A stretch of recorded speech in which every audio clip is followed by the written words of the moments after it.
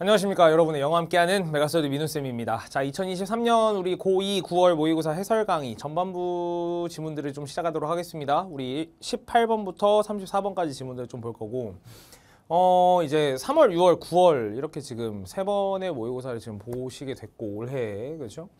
물론 서울 지역 친구들은 지금 3월 보시고 9월 이렇게 지금 보겠지만 지문이 더 길어집니다. 그렇죠? 내년 가면 더 길어집니다. 그렇죠? 여러분 3학년 됐을 때 지문들은 지금 시험지보다도 더 여백이 없을 겁니다. 그렇죠? 11월에 최종적으로 마주하시는 게 이제 1년 한 2개월 정도 남은 것 같아. 진짜 얼마 안 남았다 얘들아. 그지? 11월 달에 모의고사 또 금방 올 거고 그러고 나서 이제 또 이제 내년 바로 고3이 이제 되시는데 글쎄 목표하는 점수가 나오신 분들 고생하셨고 그죠? 뭐 점수가 안 나왔다고 고생을 안 했다는 건 아닙니다. 근데 이제 지금 이제 이제 고생했어. 나 다음에 잘하면 되지. 약간 이걸로만 하기에는 조금 시기가 이제 좀 급해졌다라는 걸 여러분도 좀 느꼈을 거라고 생각을 해요. 그렇죠? 뭔가 지금 여러분들 어떤 점수 컷에서 계속해서 벗어나지 못하거나 또는 아니면 심지어 나락으로 빠지고 있는 친구들 영어가 그냥 해석으로만 끝나면 되지 뭐 단어 외우고 해석하면 되지 해석할 줄 알면 되지 뭐 그런 마인드 버리시고 그렇죠? 틀린 문제도 정확하게 내가 왜 그 문제에서 정답을 찾지 못했는가에 대해서 파악을 하셔야 되고 그렇죠? 물론 이걸 킨 지금 해설 강의 친구 키신 분들은 당연히 그거를 파악을 하려고 어, 생각을 하셨으니까 킨 거 되게 잘하신 겁니다. 근데 이제 만약에 이제 그냥 대충 하면 심심해서 한번 들어봤어 약간 이런 친구들이라면은 좀 마음을 좀 고쳐 벌 고칠 때가 이젠 됐다. 이젠 됐습니다, 진짜. 그렇지? 그래서 문제 풀이 방법 저하고 같이 좀 잡아가면서 이렇게 좀 출발을 하도록 하겠습니다. 그렇죠? 18번부터 갑니다.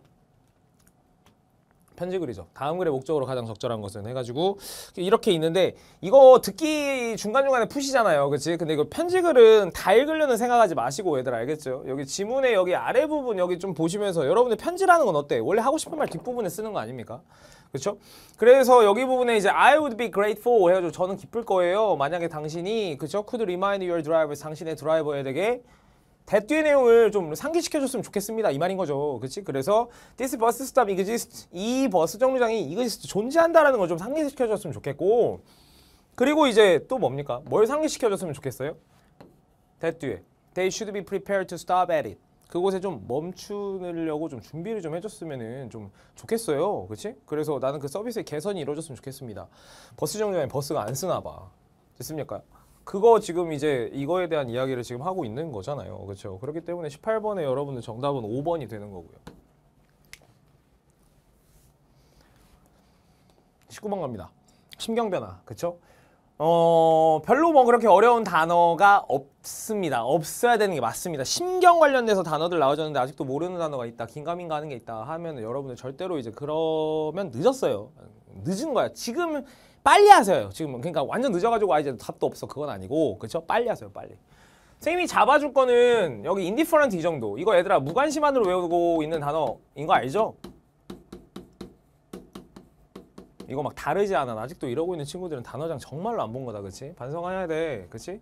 무관심한 이런 표현으로 가시고 이게 얘들아 거의 어떤 거냐면 boring 지루하고 얘들아 굉장히 비슷한 단어 그쵸? 음, 이렇게 여러분들 이제 보시는 거예요. 그치?